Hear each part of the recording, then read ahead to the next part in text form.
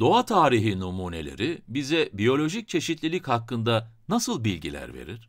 Bir araştırma gezisi sadece oradaki canlılar ve nerede yaşadıkları hakkında değil de, onları ne şekilde koruyacağımız hakkında da sonuçlar elde etmemizi nasıl sağlar? Müze koleksiyonlarında yaptığımız araştırmaları özgün ve önemli kılan şey nedir? Neden bu kadar değerliler? Şimdi size rastgele seçilen bir numune ile ilgili küçük bir hikaye anlatacağım. Aslında kısmen rastgele seçilen diyelim. Bu benim üzerinde çalıştığım organizmalardan biri. Filipinler'de bulunan bir kum doları. Sevimli ve zarif şekle sahip. Üst tarafta taç yaprakları ve arkaya doğru iki tane deliği var. Bulduklarımızın hepsini toplamadık. Onları bulmak oldukça zor olmasına rağmen bazı yerlerde de çok fazla olabiliyorlar. O yüzden bu türü bulduğum yerde toplayabildiğim kadar fazla veri topladım.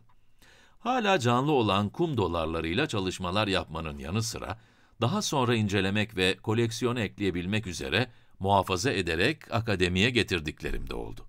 Laboratuvarda ilk olarak numuneleri kataloglama işlemine başlamalıyız.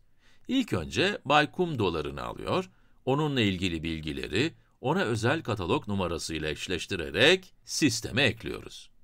Bu katalog numarası, numunenin ne olduğu, nerede bulunduğu gibi bilgilerle beraber, bulunduğu yerde çekilen fotoğraflar ve diğer tüm o hayati önemdeki meta verileri içeriyor.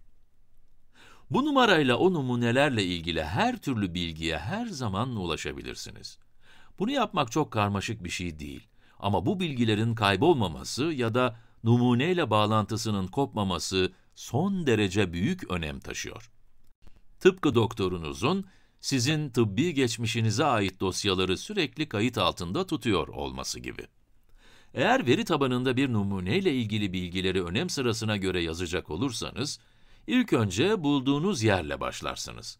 Yani bu numunenin dünya üzerinde nerede bulunduğunu yazarsınız. Günümüzde bunu artık coğrafi referanslama yöntemiyle yapıyoruz. Özel bir coğrafi bilgi sistemiyle o numunenin dünyanın neresinden geldiği, matematiksel koordinat olarak kaydediliyor. Bu aslında elinizdeki akıllı telefonun nerede olduğunuzu göstermesine benziyor. Ben ayrıca kum dolarlarımı hangi derinlikte bulduğumu da kaydediyorum. Ki mesela bunu yaklaşık 6 metre derinlikte bulmuştum. Bunu iyi hatırlıyorum çünkü bu benim şnorkelle rahatça dalabildiğim maksimum derinlik. Onların içinde yaşadıkları kumdan da bir miktar örnek toplamıştım. Numune ile ilgili bu ve buna benzer bilgileri çalışmaya ekleyebiliyorum. Dikkat ettiyseniz, henüz kum doları olmasının dışında numunenin türüyle ilgili bir şey söylemedim. Türün ne olduğuna dair bir fikrimiz olması elbette önemli. Ama esas tür ismi tek önemli bilgi sayılmaz ve bunun birkaç sebebi var. Mesela o numuneyle daha fazla çalıştıkça, onun hakkındaki fikirlerimiz değişebilir. Ya da diğer uzmanlar çalışmaya dahil olup, farklı bir fikir ileri sürebilirler ve hey bu daha ismi bile olmayan yeni bir tür olabilir diyebilirler. Ancak nerede ve ne şart altında bu numunenin bulunduğunu bildiğimiz sürece, kum dolarları ve Filipinlerin biyolojik çeşitliliği hakkındaki bildiklerimize yenilerini ekleyebiliriz. İşte burada da biraz farklı bir örnek var. Diyelim ki Bay Kum doları gibi tek bir numune yerine farklı planktonlardan oluşan bir grup topladık.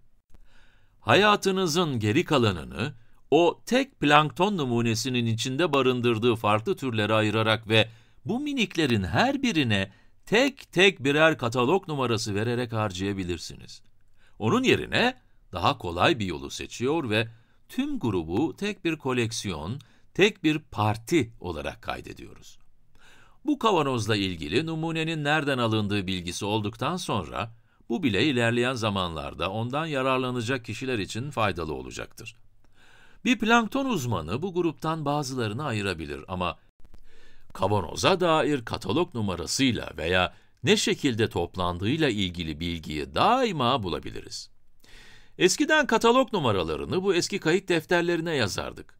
Bunlara defteri kebir denirdi.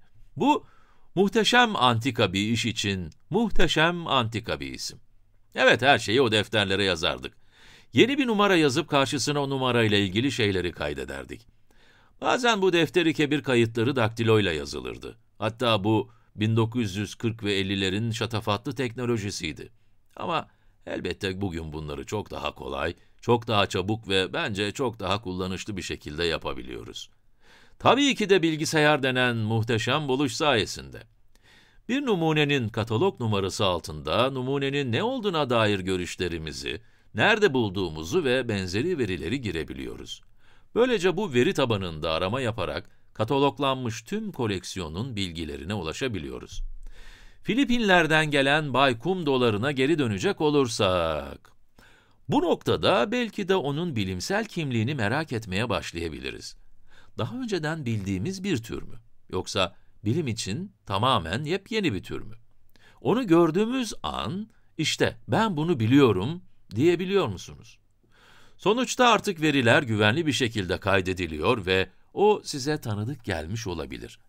Bazen sadece numuneye bakarak işte bunu biliyorum diyebilmeniz mümkün. Ama bazen de ona çok dikkatli bakmanız gerekebilir. Şekline, rengine ve onu diğer türlerden ayıracak tüm özelliklerine bakarsınız. Bu inceleme, organizmanın ya da organizmada gözlemleyeceğiniz özelliklerin büyüklüğüne bağlı olarak çıplak gözle, mikroskopla ya da elektron mikroskobuyla yapılabilir. Canlıların biçimini ya da yapısını araştırmaya morfoloji deniyor. Morfoloji, türleri tanımlamada en temel ve en eski araçtır. Günümüzde bu tanımlama araçlarına moleküler teknikler de eklendi. Bir organizmanın DNA'sının genetik dizilimi, türü tamamlamada gittikçe önem kazanıyor. Bir türün morfolojisi ve genetik çalışması tamamlandığında, tüm koleksiyona bakabilir ve onunla ilgili bilimsel yayınları da tarayabilirsiniz. Bu tür bir kum doları daha önce tanımlanmış mı? Buna daha önce bir isim verilmiş mi? Çalışmaya devam ettikçe bu organizmayı daha önce kimsenin görmediğini, tanımlamadığını ya da adlandırmadığını fark edebilirim.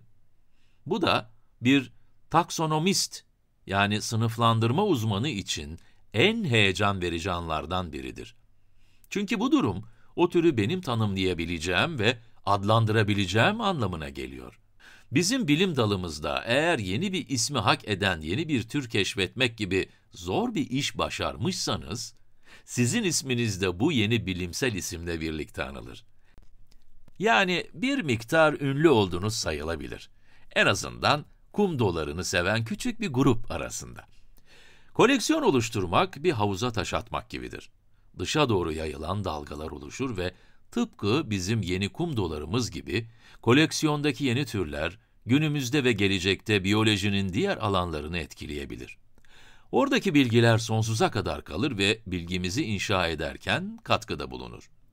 Biz veya gelecek nesil bilim insanları, evrimsel ilişkileri, hastalıkları, patolojileri ve hatta günümüzden 100 yıl sonra şu an bilmediğimiz başka konuları incelerken bunlardan yararlanabiliriz.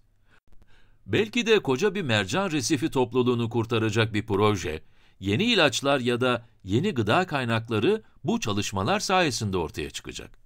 Bu yeni türü koleksiyona eklemek yeni dalgalar oluşturacak.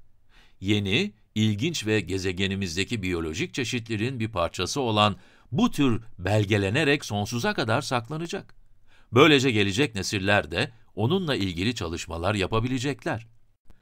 Bugün ortaya çıkan bu dalgaları kullanarak belki bizim hayal bile etmediğimiz işler yapacaklar.